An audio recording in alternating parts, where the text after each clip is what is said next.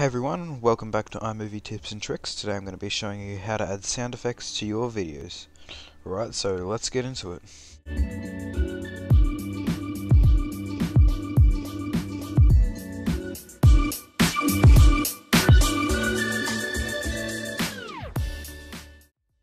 Alright, so I've got um, a video here in my timeline that I'm going to add some sound effects to.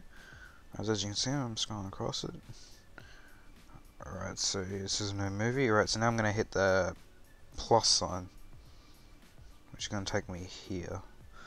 Alright, so now that I'm here, I'm going to hit audio, and then I'm going to touch uh, sound effects. Now, it gives you all these sound effects here that you can use. There's lots of, there's quite a few. Um, play a couple.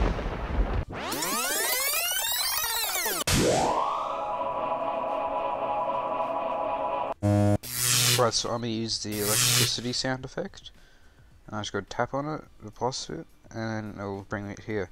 So now that it's down there, I can tap on it and hold it and drag it to anywhere in my timeline that I want. So I'm going to leave it there and play it back. Alright, so I'm going to go, I might go add another sound effect. So I'm going to go pick one, I'm going to pick golf hit. So you can have multiple of them in the same one there. Well, both the sound effects. Alright, yeah. Anyway guys, before I end this video, if you could go ahead and leave a like on the video and subscribe to my YouTube channel, that'd be great. And yeah, I hope you found this video helpful, and yeah, I'll see you in the next video. So,